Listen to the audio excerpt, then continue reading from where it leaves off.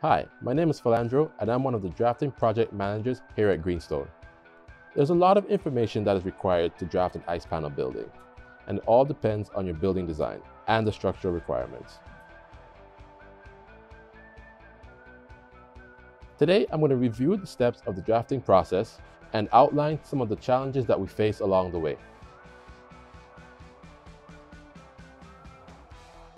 A big part of our job is receiving and reviewing all the information that is received from the client. To start with, we need construction drawings, often called architectural drawings or IFCs, floor joist and roof truss drawings, a legal address of the project, and a rough opening schedule. Oftentimes, we get a list of frame sizes rather than the rough opening sizes the difference between these two is that the frame size is the actual measurement from edge to edge of your unit, whether it be a door or window, while the rough opening is the actual size of the hole in the wall that is needed to fit that unit. Once we have all the information, it's our job to review it and begin creating 3D Revit drawings.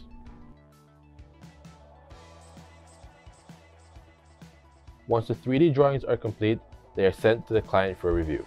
If there's anything the client wants changed, now is the time to do it.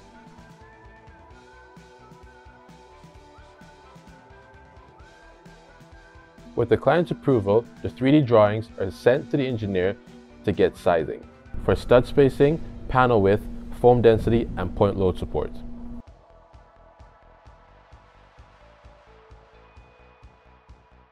So the next step is the prefab stage or prefabrication stage.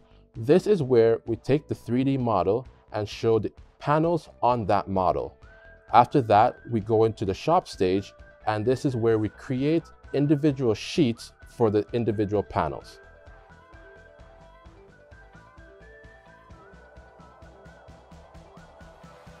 From here, we have an internal review of the shop drawings and make any corrections. And if any panelizing is needed for tall walls, this is when we will make the tall wall shop drawings. At this point, the drawings are sent back to the engineer to be reviewed and sealed. Once you re receive the engineer's seal, we will print out the drawings for the plant. Also, a spreadsheet of data is extracted which provides the production floor with all the information they need to produce the panels.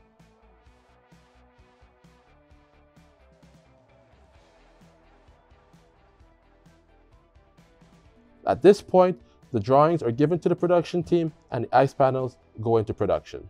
And our part of the Greenstone process is finished.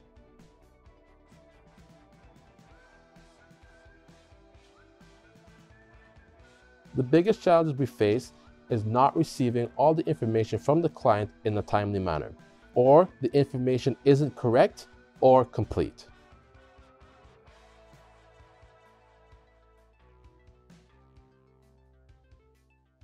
We understand that this process is new to most clients, so we're here to help and guide you through the process. So feel free to ask us any questions. If you want to learn more about ICE Panels, head on over to gsbp.ca.